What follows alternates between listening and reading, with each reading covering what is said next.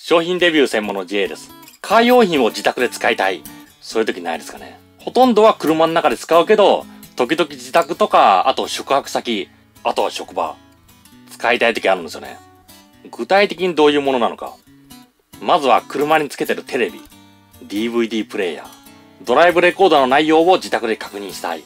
まあそういう時、自宅で動かせないんですよね。まあ理由は単純。自宅にシガーソケットがないからですよ。それ今回その時に便利なものを提供していただきました。こちらですね。まあ、非常に単純な仕組み。こちらが AC アダプターで、そして反対側にシガーソケットがついてる。これだけですね。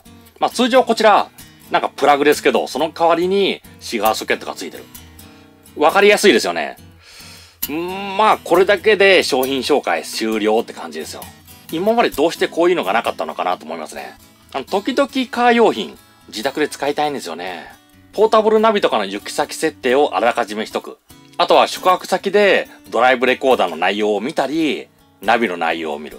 単に宿泊先にテレビがなくて、車のテレビを取り出して使うとか、そういうのもありますしね。まあ、あとオートキャンプ場ですと、もう 100V の電源ありますから、これがあればカー用品、車のエンジンかけずに使えますよ。まあ、非常に単純なアイデア商品ですけど、まあ、一つあると便利ですね。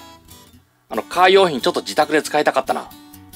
そう考えてた人、ぜひこちら検討してみてください。あ、そうだ、あと、今までわざわざ車で充電したもの、昔買ったもので、家庭用の電源がなくて、シガーソケットだけの電気製品ってのもあるんですよね。そういうものもこれがあれば、まだまだ使えますね。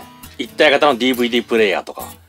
まあ、車買いた時に、最新の車だともうプレイヤーがついてるから、総付けプレイヤー、とりあえず家に置いといた。そういう人もこれがあれば、また再利用できますよ。あの、シガーソケット。車では非常に便利なんですけど、自宅で使うとき、あ、どうしたらいいのかな？使えないな、みたいな。そういうところがありましたけど、これを使えば簡単です。